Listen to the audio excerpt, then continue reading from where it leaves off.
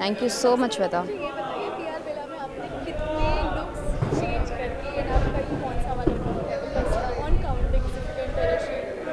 On count oh that's quite interesting. I haven't counted though yet but yeah काफ़ी बार uh, मैंने disguise look लिया है और अपना लुक चेंज किया है but it is always been for something you know कोई पर्पस होता है किसी चीज़ को ठीक करना होता है कोई सच्चाई बाहर निकालनी होती है तो इट इज़ नॉट ईजी कि पूजा अपने ही लुक में वो चीज़ कर ले इसीलिए वो यू you नो know, रूप बदलती रहती है but that's always for good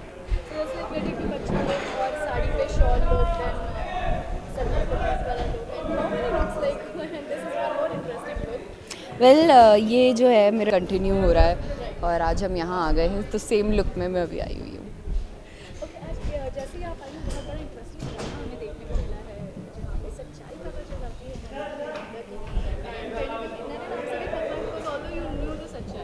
कहना चाहेंगे?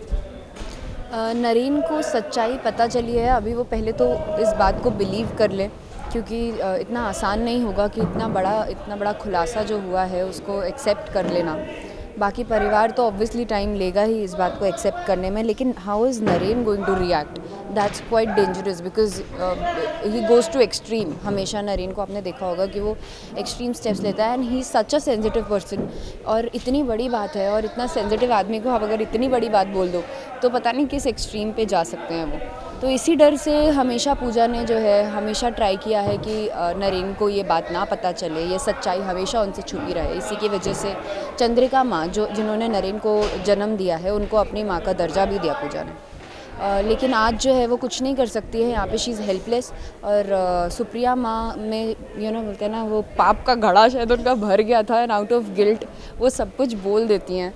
और आज वो जब सब कुछ बोल चुकी हैं सारा नरेन के सामने खुलासा हो चुका है तो पूजा को भी फाइनली उनको कहना पड़ा कि हाँ चंद्रिका माँ ही आपकी असली माँ है। Thank you Thank you. स्वागत है अक्षय आपका। ओके सो आज मेजर ड्रामा देखने को मिला है जहाँ पे ये रिवील हो गया है कि please continue and tell the audience हाँ।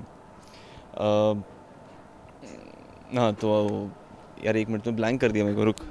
उधर कर हाँ।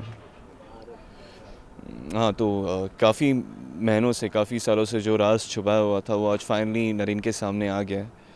जब उसे पता चलता है कि नरेन इस घर का बेटा नहीं व्यास परिवार का अंश नहीं है सुप्रिया और हरीश का बेटा नहीं है तो ये काफ़ी शॉकिंग मोमेंट है उसके लिए। अ, इतने सालों से ये बात अ, एक राज बनकर दादाजी के पास थी पूजा सुप्रिया चंद्रिका ये सारी सा, ये सब लोग इस बारे में जानते थे। बट आज जब ये बात नरेन के सामने आई है तो वो इतना ज़्यादा शॉक्ड है उसके खुद के एग्जिस्टेंस ही पूरा चेंज हो गया है। तो वो समझ नहीं पा रहा है कि वो क्या बोले किस पे यकीन करे किस पे ना करे। तो वो बहुत ही ज़्यादा ब्लैंक स्टेट में है। Hmm. It's not just about Pooja Supriya Chandrika दादाजी ये सब जानते थे जो इतने सालों से ये राज जो छुपाया गया है।